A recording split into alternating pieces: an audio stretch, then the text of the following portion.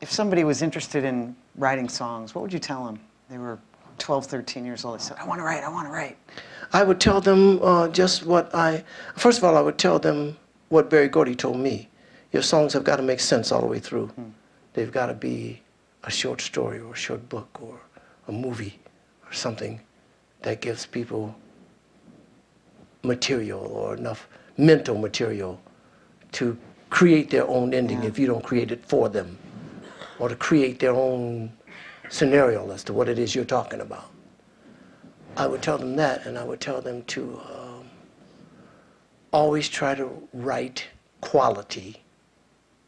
You know, there are songs that I've heard throughout my life that if you put them on a piece of paper and read them, you would say, "What?" And they've been hits, but they're not now. Yeah, You know, so we're not still listening to them. Yeah, that would I've, be my I've always been struck by, as a young songwriter, you could write adult feelings. I was boring everybody in the office this morning before you came in about um, the line in Ooh Baby Baby about mistakes. I've m- made a few, but I'm only human. You've made mistakes too. I mean, I don't know that I was that wise at, at, at that age to have that kind of an, an idea about how two people might relate to each other. But, but it might have meant something to me too when I was 13 or 14.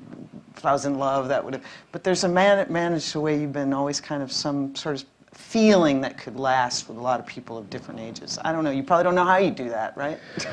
Well, I, I, I'm, I'm an observer, and um, I look, I, I watch people and life and things. I think as a writer, whatever kind of writer you are, songs, books, or whatever it is, you cannot possibly experience firsthand all of the things that you might write about. But if you're looking, if you're observing, and you see life happening before you and what others are going through, I don't have to put my head down and run into that wall over there and know that's going to hurt. you know?